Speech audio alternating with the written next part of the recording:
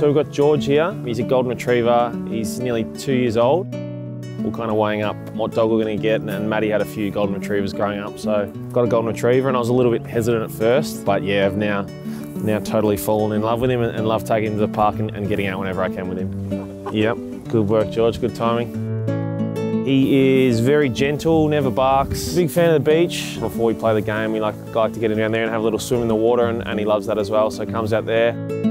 He's learnt shake recently. Maddie's kind of started teaching him that one. He's good at sleeping. Not sure if that counts as a trick, but that's about, that's about what he's got. Probably didn't realise how much of a positive effect they can have on your life. It's, it's really good coming home to him when he comes charging up as you walk in the door. It's, it's obviously the highlight of, of their day when you come home from work. It's their time that they get to play with you and have a bit of fun. So he's a really positive influence.